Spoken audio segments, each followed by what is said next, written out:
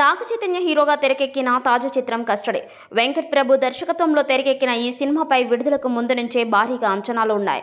తెలుగుతో పాటు ఇక తమిళంలో ఏకకాలంలో నిర్మించడం భారీ కాస్టింగ్తో ఇక తెరకెక్కించడం ఈ సినిమాపై అంచనాలు పెరగడానికి కారణం చెప్పవచ్చు. ఇక ఎన్నో అంచనాల నడుమ ఈ సినిమా నేడు విడుదలై మిశ్రమ స్పందన సొంతం చేసుకుంది. ఇక కలెక్షన్స్ కూడా సాధారణంగానే ఉన్నట్టుగా తెలుస్తోంది. ఓవర్సీస్లో ఓ మోస్తారు ఓపెనింగ్స్ కనిపించాయి. ఈ చిత్రం అమెరికాతో పాటు ఆస్ట్రేలియా ఇంగ్లాండ్లో ప్రీమియర్లతో పాటు ఇక రెగ్యులర్ షోలు ప్రదర్శించేందుకు ఏర్పాట్లు జరిగాయి. అమెరికాలో భారీగా రిలీజ్ చేయగా యూకే ఆస్ట్రేలియాలో అక్కడ రేంజ్కు తగినట్టుగా రిలీజ్ చేశారు.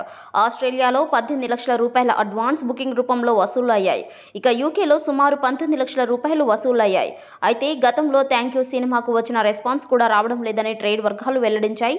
అమెరికాలో కూడా కస్టడీకి ఓ మోస్తారు రెస్పాన్స్ లభించింది. ఇక ఈ సినిమాను దాదాపు నూట ఇరవై ఐదు లొకేషన్స్లో ప్రదర్శించారు. తొలి రోజు పాతిక వేల డాలర్లు వసూలు చేసినట్టు ట్రేడ్ వర్గాలు వెల్లడించాయి. హైదరాబాద్లో కస్టడీ సినిమా అరవై లక్షల రూపాయల వసూళ్ళను నమోదు చేసింది. అలాగే తెలుగు రాష్ట్రాల్లో కొంతమేర రానట్టయింది. నైజాం సీడెడ్ ఆంధ్ర ఇలా ఎన్ని చోట్ల కాస్త డీసెంట్ వసూలు రాబట్టినట్టుగా సమాచారం. మొత్తం మీద కస్టడీ మొదటి రోజున బాక్సాఫీస్ వద్ద దాదాపు నాలుగు కోట్లు రాబట్టవచ్చని అంచనా వేస్తున్నారు.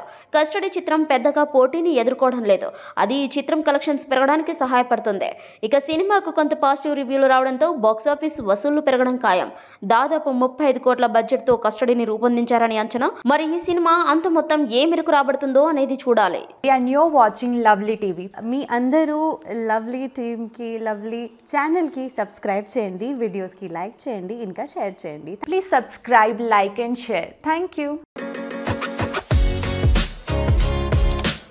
ఈ వీడియో మీకు నచ్చినట్టయితే లైక్ చేయండి షేర్ చేయండి కమెంట్ చేయండి సబ్స్క్రైబ్ చేయండి